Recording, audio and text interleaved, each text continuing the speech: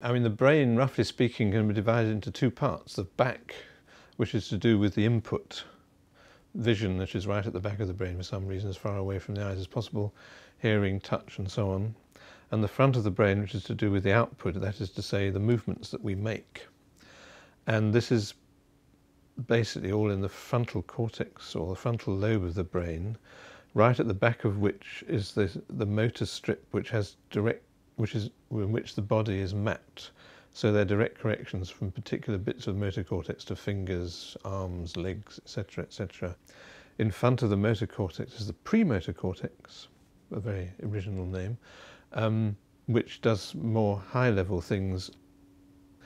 In front of the premotor cortex is the prefrontal cortex, again, very unimaginative name, which is doing even higher level control, like long-term goals and plans, we think of this in terms of a hierarchy of control.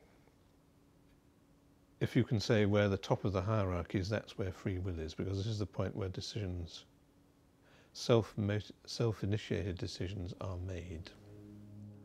Now in the lab you can only get people to make very simple decisions, and the classic experiment that everybody still talks about is the one by Benjamin Libet in 1983, when the decision was, should I raise my finger or not? and the idea was that in this case, it's a free decision because no one is telling you when to move your finger, you have to decide for yourself.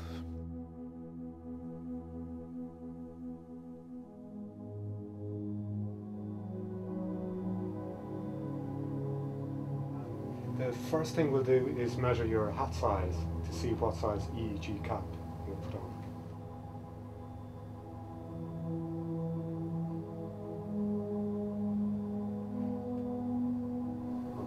Next thing we'll do is uh, place some electrodes on the cap and we'll be particularly interested in the front part of your brain because the experiment you're about to do concerns decision making in this part of the brain. Uh, altogether we'll have 17 electrodes on the cap and then we'll also add some onto your face to control for eye movements.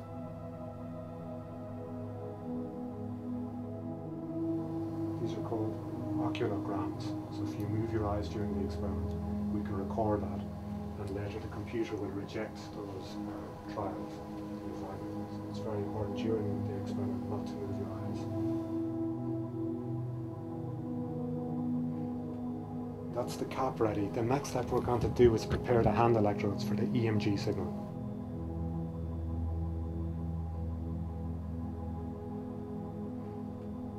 The experimental setup is complete, we're ready to begin the experiment.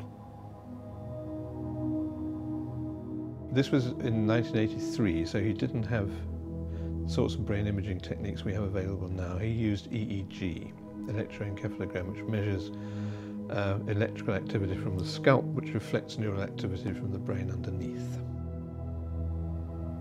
First thing we're going to do is practice making a spontaneous hand movement.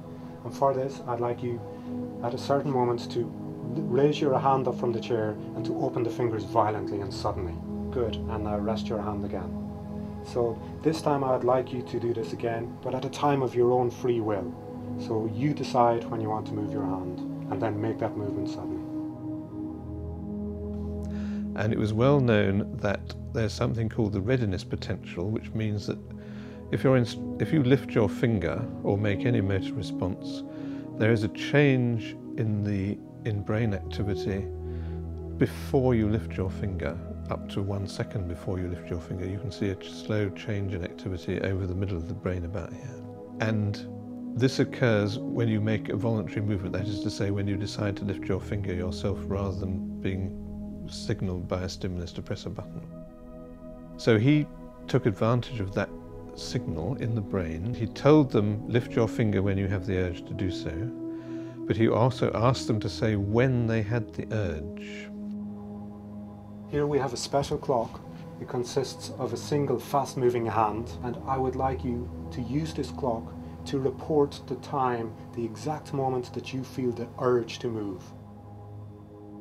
And he did this by having a little clock face that was constantly going around, and he said, Whenever you have the urge to lift your finger, lift your finger and also note on the clock what the time was. And then I ask you afterwards. So for each finger lift, he had the time at which they had the urge to lift. And this time, as you might hope, was about 200 milliseconds before they actually lifted their finger. But he also had the brain activity measured, so he could also answer the question at what time did the change in brain activity occur before the finger lift happened. And this was I mean, I can't remember exactly, but about 500 milliseconds before the finger was lifted. In other words, he could detect a change in brain activity before, earlier than the time at which the subject said they had the urge to lift their finger. Many other researchers have replicated this basic finding that we are aware that we feel the subjective urge to move approximately one-fifth of a second before we actually move. And yet, at the same time, we can record the neural correlates of this preparatory activity well in advance of the movement, one half of a second earlier than our subjective awareness of it. And indeed, most recently, John Dylan Haynes has done a fMRI experiment essentially of the same technique and could show changes in the brain up to 10 seconds before the decision to move the finger occurred. So their awareness of the decision seems to post-date the, uh, what actually in their heads determines which way they go. And of course, it's very natural to interpret this in the following way, that actually free will is a bit of an illusion because uh, before we take the decision, something in our head has already determined what we're going to decide.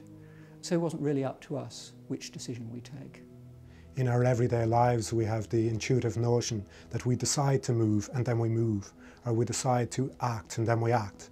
So Libet showed in his experiment that the brain knows what we're going to do half a second before we know what we've got to do.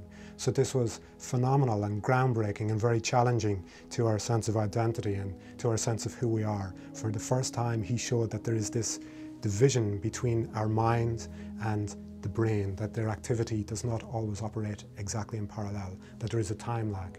Your apparently free-willed idea that you're going to lift your finger actually comes after something has already happened in your brain. It's driven by your brain. It's all completely predetermined. You don't have free will. It's, a, it's an illusion.